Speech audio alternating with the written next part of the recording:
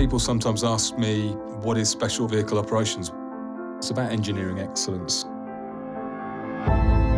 We've been given permission to push the boundaries. These are not just great looking cars, we make special cars. Cars with real substance and real integrity.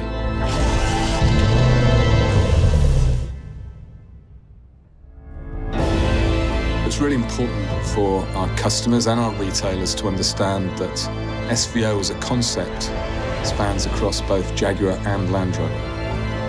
When I think of this in my mind, I think of the triangle.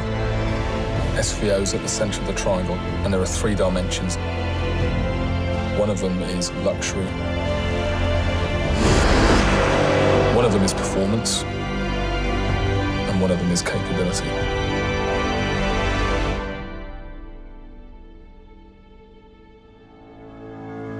Luxury is all about the interior ambiance, it's about materials, it's about the status of the car. You might argue that the ultimate form of luxury is bespoke. It really plays well to our British traditions of craftsmanship. We're looking at how we can apply real British luxury and comfort to our products. We decided to launch SVR on the Range Rover Sport. That was actually quite a controversial decision. The SVR just broadens the breadth of capability of the car. Its performance on road is just electrifying. The second SVR product will be the F-Type. And again, it plays to the same formula. The engineering team said, let's take this car to 200 miles an hour. And they did.